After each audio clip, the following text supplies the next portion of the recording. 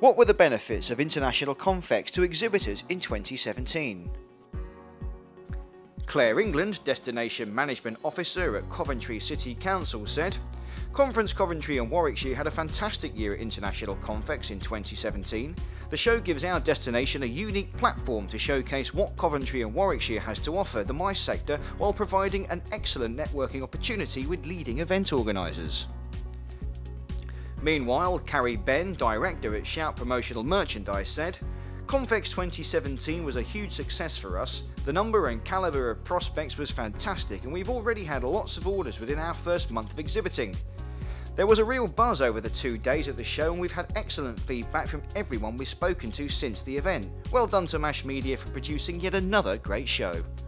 And Becky Gibson, marketing and PR manager at Victoria Warehouse, said, as a Manchester venue, a key aim of ours is to target the national events market, raising our profile and picking up business from all over the country. Exhibiting at Confex helps us to do this perfectly. We use the exhibition as a PR activity as well as inquiry generation, and it certainly ticks both boxes. It's a great opportunity to network and proactively get in touch with key industry professionals, usually agencies or buyers and influencers from large corporations.